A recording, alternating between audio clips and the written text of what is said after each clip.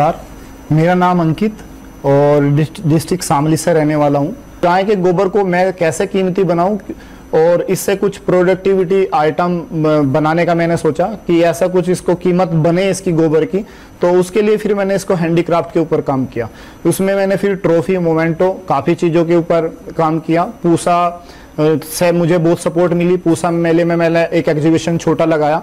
यहाँ पे लगाने से उसको बहुत अच्छा प्रमोशन वीडियो बनी यहाँ पे, कुछ वो प्रमोशन हुआ। काफ़ी लोगों ने उसको प्रोत्साहन दिया, बहुत सराहना दी। अभी मार्केट में बहुत सारे ट्रॉफी सील्ड वगैरह जो किसी प्रोग्राम में दिया जाता है तो वो बहुत, उसके लिए बहुत सारे पेड़ को काटना पड़ता है। और उसको बनाने के लिए वो पेड़, जिससे वो ट्रॉफी को बनाया जाएगा, वो पेड़ बहुत साल में तैयार होता है। तो हमने इसको पूरा एज इट इज़ गाय के गोबर से हमने इसको तैयार किया। बीस से पच्चीस किलो एक दिन का गाय गोबर करती है।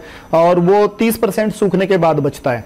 तो मेरा मैंने इसको स्टार्ट किया बीस से पच्चीस रुपए के जी के हिसाब से मैंने इसको स्टार्ट किया सबसे पहले। और उन एक दिन में गाय का चार किलो भी गोबर होता है तो वो सीधा सौ से ऊपर जाता है। अगर एक छोटा सा कॉन्सेप्ट लगा के काम को स्टार्ट किया, और उसमें अभी धीरे धीरे मार्केट पूसा मेले की तरफ़ से जो मुझे वो मार्केट मिल पाई उससे अभी वो मार्केट स्टार्ट हो गया है और बहुत अच्छा उसमें रेस्पॉन्स मिल रहा है। और बात करें तो अपने पास में हैंडीक्राफ्ट, ट्रॉफी, मोमेंटो और बहुत सारे गिफ्ट आइटम है, जिसको अभी लोगों ने अपने किसी को एनिवर्सरी गिफ्ट देना है या बर्थडे गिफ्ट देना है तो उन्होंने उसको खरीद के जो है वो दूसरों तक पहुंचाना स्टार्ट किया। तो अभी स्टार्टअप में अपना काम चालू है। जैसे ये प्रोडक्ट अभी हम काम कर रहे हैं इसके ऊपर अभी किसी को इस तरह का कोई प्रोडक्ट दोबारा हमारे पास में मतलब ये प्रोडक्ट किसी को ज़रूरत पड़े इस प्रोडक्ट की तो मेरा कॉन्टैक्ट नंबर है nine eight nine seven nine six four double seven three.